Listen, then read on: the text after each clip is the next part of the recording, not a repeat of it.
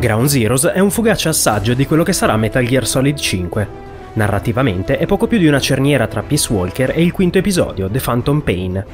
Per cogliere tutti i riferimenti bisogna conoscere il capitolo PSP, perché Ground Zeroes lo segue molto da vicino.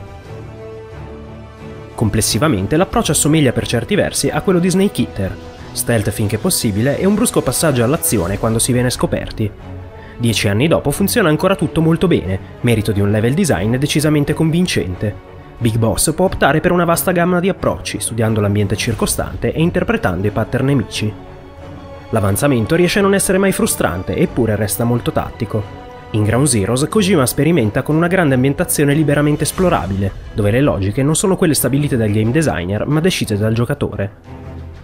Ad ogni modo, l'ambientazione proposta presenta un design all'altezza della fama della serie. Ogni elemento è posizionato minuziosamente. Le torrette perimetrali, i due campeggi all'interno dei quali giocare a guardie ladri con le sentinelle, la disposizione dei veicoli corazzati.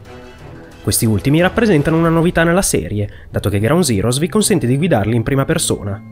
Ma occorre ricordare che Metal Gear non è uno sparatutto qualunque.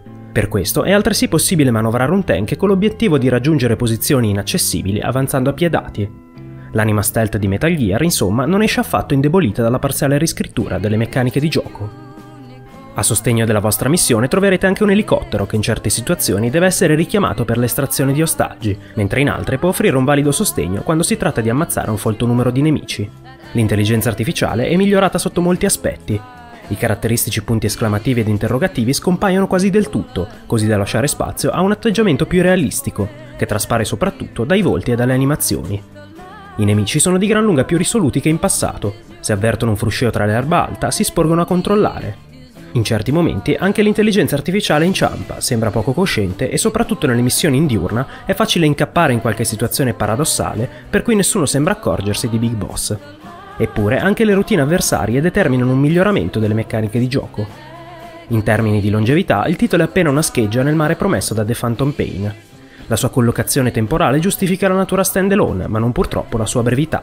Poco più di un'ora è sufficiente per affrontare la missione primaria e vederne i titoli di coda.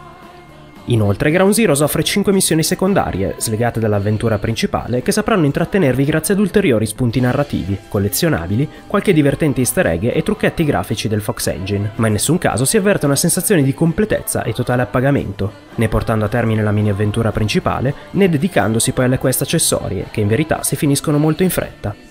La durata dell'esperienza di gioco dipende proprio dal grado di curiosità e affezione alla saga, ma diremmo che 6 ore potrebbero essere sufficienti, per lo più, ad esaurire gli stimoli di Ground Zeroes. Sul fronte tecnico si fa notare una performance solida del Fox Engine. I modelli poligonali non raggiungono la qualità che ci si aspetterebbe su una piattaforma di nuova generazione. Questo tuttavia è compensato dall'enorme attenzione per l'espressività facciale, ma soprattutto da un reparto animazioni veramente curatissimo. Notevole il lavoro sull'illuminazione, vero e proprio fiore all'occhiello, di un titolo che si posiziona subito al vertice delle produzioni per PlayStation 4. Solidissimo anche il lavoro sulla componente sonora. Non solo la soundtrack è ricca di brani incalzanti, ma la musica sa quando farsi da parte, lasciando spazio ai rumori della base o alle chiacchiere delle guardie. Anche a causa del prezzo italiano del gioco, allo stato attuale dei fatti si consiglia di attendere un abbassamento di prezzo, mentre l'acquisto al day one è giustificato se siete irriducibili fan della serie. Di una cosa comunque siamo certi. Per intensità narrativa, soluzioni registiche, coraggio e voglia di rinnovarsi, Metal Gear Solid 5 non ha rivali. Questo nuovo gameplay, applicato ad un contesto più esteso, potrebbe seriamente generare uno stealth game mastodontico.